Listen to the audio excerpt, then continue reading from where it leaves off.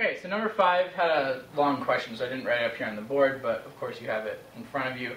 Um, so let E be the error made in approximating the value of this particular series. So let me write the series down here.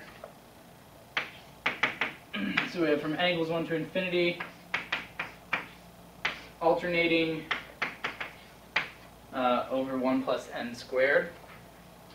So we want to approximate the value of this series, uh, approximate by using the first 100 terms. So the alternating series estimation theorem, so this, this question is really just a, a, test of did you remember this theorem.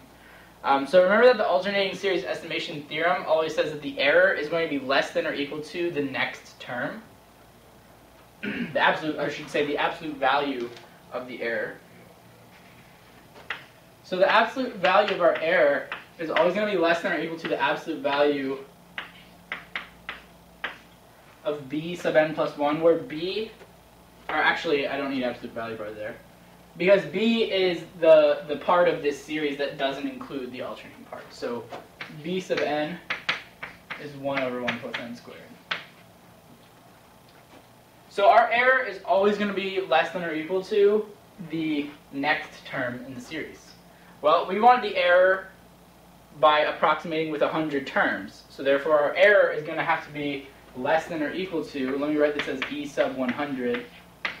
So the error in approximating by 100 terms is going to be smaller or equal to b of the next term. The next term would be the 101st term. So we just need to figure out what the 101st term is. Well, we can just plug in 101 and see what that is. b sub 101 is 1 over 1 plus 101 squared, which of course you're not expected to write out there. And that's exactly one of the answers. So that's all we have to do here. So just remember that the error term, by approximating for a certain number of terms, is always less than or equal to the value of the next term.